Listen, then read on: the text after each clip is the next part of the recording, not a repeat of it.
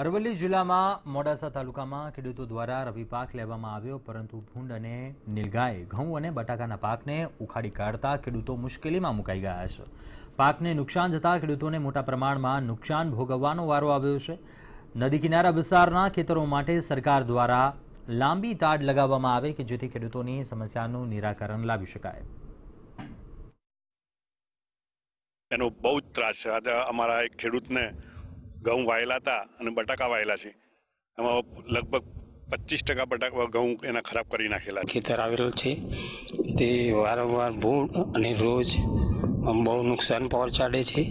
તો આના માટે સરકારશ્રી અથવા ફોરેસ્ટ ખાતું અમને તારની વારમાં સબસિડી આપે અને કંઈ આનું નુકસાન ના માટે કંઈ કરે. મોડાસાના પહાડપુર ગામે જે ખેડૂતોએ ઘઉં અને બટાકા સહિતના જે પાકોની જે વાવણી કરી હતી, ખેડૂતોને એક આશા હતી કે સારો એવો પાક થશે ને સારું ઉત્પાદન થશે. ત્યારે ખેડૂતોને અત્યારે હાલ આશા એક ઠગાડી દેવડી છે. જે આપણે આ ઊભા છે પહાડપુર ગામના જે ખેતરમાં જે ઘઉંનું જે વાવેતર કરવામાં આવ્યું છે, વાવેતર કર્યા બાદ ખેડૂતોની જે આશા ઉપર પાણી ફરી વળ્યું છે. જીભુંડ અને જે નીલગાયના જે તા- ત્રાસના કારણે જે આ જે તમામ જે પાક જે ઊંઘેલો હતો તે અત્યારે હાલ નીકાળી દીધો છે, જે ખાડા કરી દેવામાં આવ્યા છે. કારણ કે જે નજીકમાં જે નદી વિસ્તાર આવેલો છે, તે વિસ્તારની અંદર જે ગુંડ જે વધુ પ્રમાણમાં જે જોવા મળતા હોય છે, નીલગાયનું પણ જે વધુ પ્રમાણમાં જોવા મળતી હોય છે, તેના કારણે જે નજીકના જે વિસ્તારોની અંદર જે પચાસથી વધુ જે જમીન આવેલી પચાસથી વધુ વીઘા જેટલી જમીન આવેલી છે, તે જમીનમાં જે રાત્રિના સમયે જે ભેરણ કરી દેતા હોય છે ખેડૂતો, ખેડૂતોના માથે અત્યારે હાલ જે એક આબ ફાટી ગયું છે, કારણ કે ખેડૂતો મો- મોંઘા ભાવે જે બિયારણ લઈને જે વાવણી તો કરી છે, પણ અત્યારે હાલ જે પાક નષ્ટ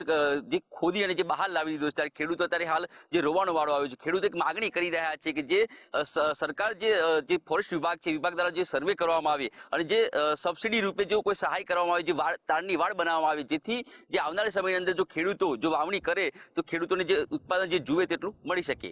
સંકેત પટેલ, મંતવ્ય ન્યૂઝ અરવલ્લી.